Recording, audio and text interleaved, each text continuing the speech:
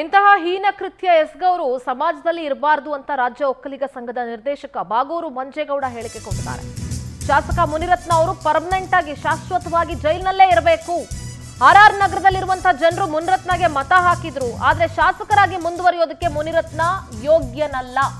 ಪವತಿವಿಗೆ ಒಕ್ಕಲಿಗ ಸಂಘದ ನಿರ್ದೇಶಕ ಬಾಗೂರು ಮಂಜೇಗೌಡ ಹೇಳಿಕೆ ಕೊಟ್ಟಿದ್ದಾರೆ. ನೋಡಿ, ಇಡೀ ರಾಜ್ಯಾದ್ಯಂತ ಸಂಚಲನ ಸೃಷ್ಟಿಸ್ತಾ ಇದೆ ಈ ಪ್ರಕರಣ ಅಥವಾ ಈ ಸುದ್ದಿ? ಮುನಿರತ್ನನ ಈ ಪೈಶಾಚಿಕ ಲೋಕ, ಪೈಶಾಚಿಕ ಕೃತ್ಯ ಏನು ಬಯಲಾಯ್ತಲ್ಲ? ಇಡೀ ರಾಜ್ಯಾದ್ಯಂತ ಸಂಚಲನ ಸೃಷ್ಟಿಸ್ತಾ ಇದೆ.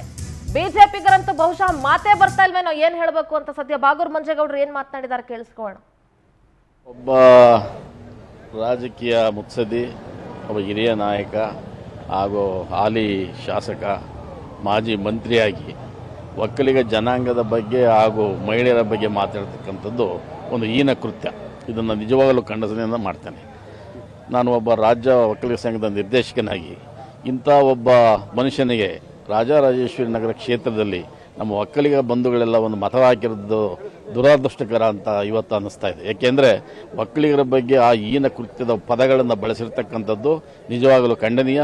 ಇಂಥ ಒಬ್ಬ ಮನುಷ್ಯನಿಗೆ ಆ ಕ್ಷೇತ್ರದಲ್ಲಿ ಮುಂದೆ ಒಳಗಡೆನೂ ಸಹ ಬರಲಿಕ್ಕೆ ಬಿಡಬಾರ್ದು ಅನ್ನೋದು ನನ್ನ ಒಂದು ಆಲೋಚನೆ. ಜಾಮ ಒಕ್ಕಲಿಗ ಬಂಧುಗಳು ಏನಿದ್ದಾರೆ ರಾಜರಾಜೇಶ್ವರಿ ನಗರ ಕ್ಷೇತ್ರದ ಮತಕ್ಷೇತ್ರದಲ್ಲಿ, ಇವನನ್ನು ಆ ಕ್ಷೇತ್ರಕ್ಕೆ ಕೂಡಬಾರ್ದು, ಇಂಥ ನೀಚನನ್ನು ಅಲ್ಲಿ ಸೇರಿಸಬಾರ್ದು ಅಂತೇಳಿ ಈ ಮೂಲಕ ಒತ್ತಾಯವನ್ನು ಮಾಡ್ತೇನೆ. ಒಬ್ಬ ರಾಜಕೀಯ ಮುತ್ಸದಿ ಒಬ್ಬ ಹಿರಿಯ ನಾಯಕ ಹಾಗೂ ಹಾಲಿ ಶಾಸಕ, ಮಾಜಿ ಮಂತ್ರಿಯಾಗಿ ಒಕ್ಕಲಿಗ ಜನಾಂಗದ ಬಗ್ಗೆ ಹಾಗೂ ಮಹಿಳೆಯರ ಬಗ್ಗೆ ಮಾತಾಡ್ತಕ್ಕಂಥದ್ದು ಒಂದು ಹೀನ ಕೃತ್ಯ. ಇದನ್ನು ನಿಜವಾಗಲೂ ಖಂಡನೆಯನ್ನು ಮಾಡ್ತೇನೆ. ನಾನು ಒಬ್ಬ ರಾಜ್ಯ ವಕೀಲರ ಸಂಘದ ನಿರ್ದೇಶಕನಾಗಿ, ಇಂಥ ಒಬ್ಬ ಮನುಷ್ಯನಿಗೆ ರಾಜರಾಜೇಶ್ವರಿ ನಗರ ಕ್ಷೇತ್ರದಲ್ಲಿ ನಮ್ಮ ಒಕ್ಕಲಿಗ ಬಂಧುಗಳೆಲ್ಲ ಒಂದು ಮತ ಹಾಕಿರೋದು ದುರಾದೃಷ್ಟಕರ ಅಂತ ಇವತ್ತು ಅನ್ನಿಸ್ತಾ ಇದೆ. ಏಕೆಂದರೆ ಒಕ್ಕಲಿಗರ ಬಗ್ಗೆ ಆ ಹೀನ